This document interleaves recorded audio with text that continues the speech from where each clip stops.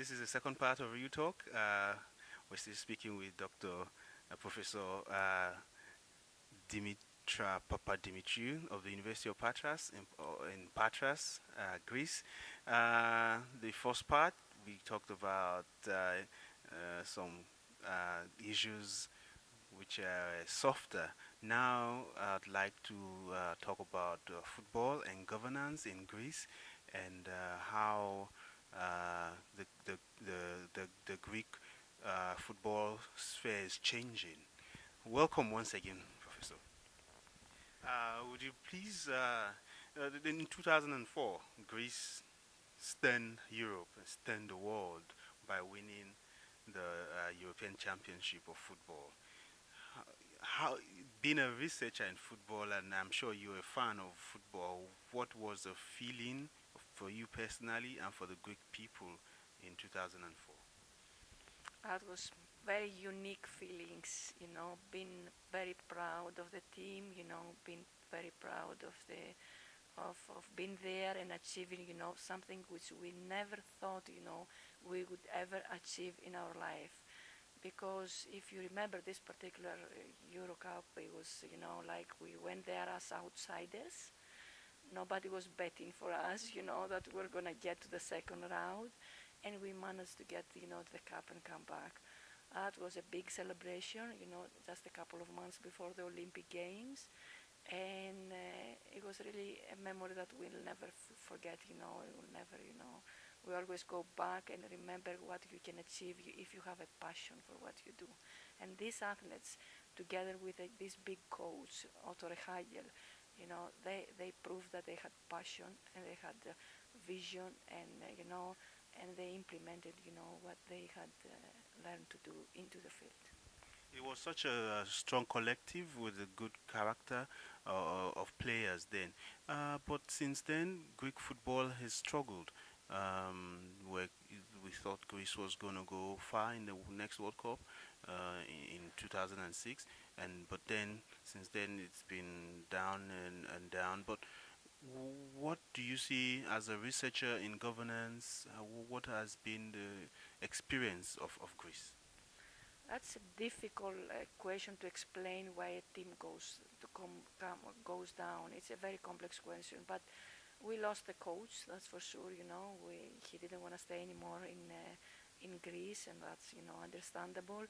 And then you know the next coach is probably they couldn't provide you know the the guidance and the and the and the support that these athletes wanted you know. Of course the athletes left to the different european uh, uh, teams at that time after this big you know achievement and they did a very great career career abroad and that probably was another reason that they didn't have any more so much passion you know to to to to, to give to the national team but I would see as well the deterioration of the performance of the team from the perspective of governance in terms of how the, the National Football Federation is organized. I think they can do better in, uh, in, uh, uh, in uh, how they compose the team, how they select the coaches, how they, they motivate the athletes, how they support them with, uh, with additional services in order to to, to love, you know, to, to be in the national team and to do their best when they're in different competitions. I think there is much more uh, room for improvement in that direction. Uh, let's now look a little bit uh, further across the big divide at FIFA. Uh, last year, there was an, an unraveling at FIFA. The big corruption cases hit the headlines and uh, there been uh, there was a shake-up, big shake-up. Uh, uh, Mr. Blatter lost his his role. We now have a new FIFA president, and there seems to also we have a first woman secretary general. She's completely out of from outside. You know, she has a background in in, in development and at, at the UN. What changes do you suppose these will bring to FIFA as a global football, body sport that people are passionate about. Mm-hmm. FIFA, yeah, had hard time uh, times very many years ago. Uh, lots of written uh, negative things have been written about FIFA at the academic level, at the news outlets. It's, it was really, you know, a major, we were expected FIFA to be a leader in good governance, and it was the opposite thing for many years. That's that's what the facts say. Now we see a big change. We see some reforms, you know, announced for that.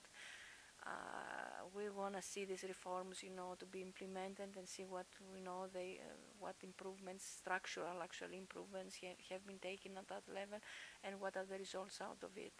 And uh, overall, you know, it would be nice for FIFA to to change its internal culture. You know, it's uh, uh, the way you know that they they develop their regulations and they implement the regulations so they control and monitor their internal activities because the the impact of the sports is tremendous and we want this organization you know to reflect that kind of uh, of power that the sport has you know in the in the in the real world and uh, don't uh, undermine that you know when FIFA is working you know uh, with uh, following good governance principles in depth and in into you know to a great extent that reflects the the, the, the automatically the performance and the governance of the national football federations.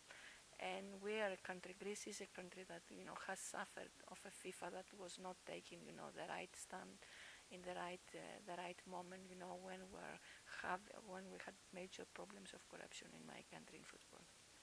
I can relate with that. Uh, in Nigeria, whenever there was any little issue in the federation between uh, members of the federation or between uh, the federation and the government, there was al always uh, the threat of uh, being banned by FIFA. Um, I, uh, did this also happen in Greece? Uh, exactly. Yeah, it's been now more than 10 years that we have that kind of crisis where the government is intervening in the National Football Federation, you know, to to solve problems of uh, legal compliance that, and uh, illegal action that's going on. And uh, it was always the time FIFA was coming in and was uh, threatening, you know, the government that uh, the, the, teams will be banned and we're not going to participate in the in the in the in the in the different championships. And instead of you know getting into the problem the governance problem and try to understand what's going on and uh, and solve the problem you know uh, with a with a proper way. So uh, this year actually we're right now in a crisis. Uh, a lot of members of the board, you know, of the board uh, of the National uh, Football Federation are have been accused for a number of illegal actions, and they they denied to resign from the board in order to to prove themselves themselves innocent in the regular uh, courts. There were other issues as well in terms of how how we we compose the the the, the arbitrary you know committee of the association and the government, you know, stepped in and uh, demanded, you know, from for the board to, to some of the board, these board members to resign in order for the, the justice to take over. And we are glad to, to see that FIFA, you know, backed up the government, you know, side. And they said uh, clearly that uh, uh, we have to leave the justice, you know, system, you know, the judges to, to make final decisions about what's going on and uh, the, the board members have to, to help the procedure and get out and uh, and uh, defend themselves in the in, in the in the in the just in the justice system. It, it's it's it's a very good development actually because it's going to help a lot the, the government you know to to to clean up a little bit the mess in the in the football. We have problems with the referees as well, major problems with the referees, and. Um, there is uh, illegal betting as well, problems with uh, match fixing, you know, there are allegations about that that we have not been investigated yet.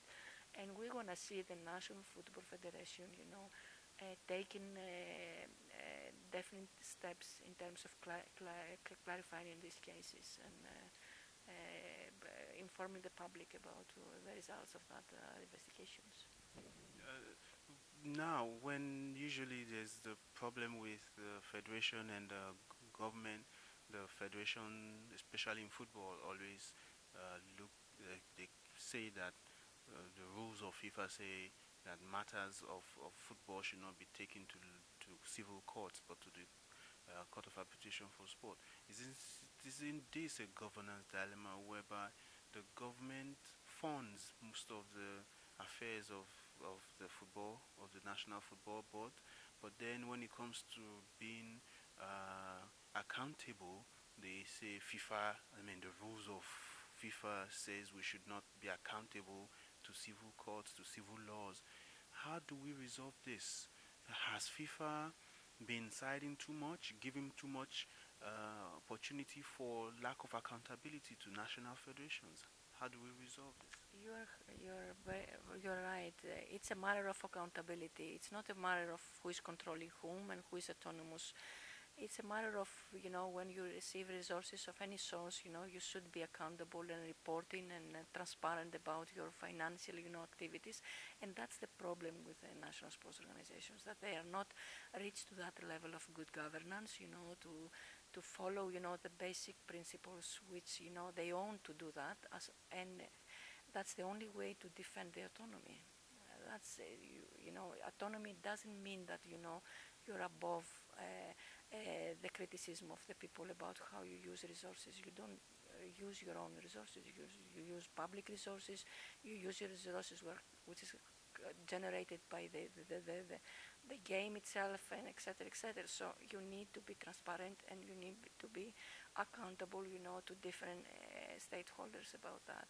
And uh, you need to defend all the choices, you know, anytime, you know, in a public space. And they don't do that. That's a major problem. Actually, in, in, in Greece, the government has uh, stopped funding the National Football Federation because of that kind of problems. So, you know, they, they're not receiving any more money from the public because of that, because they never, you know, account back, they never, uh, they're not transparent with their transactions and their activities. Uh, well, it's our hope that uh, things get to start improving with the changes at FIFA. And uh, thank you very much, uh, Dr. Papat Dimitri. We appreciate your time. This past week has been uh, really great. Thank you guys uh, for joining us on Real Talk this week. We will bring you the best brains in sports governance, in sports marketing during this year. and we thank you for all watching and your comments, your suggestions. We take it on board. Uh, till next week when we bring you some other our new guest. Have a good weekend. Bye bye.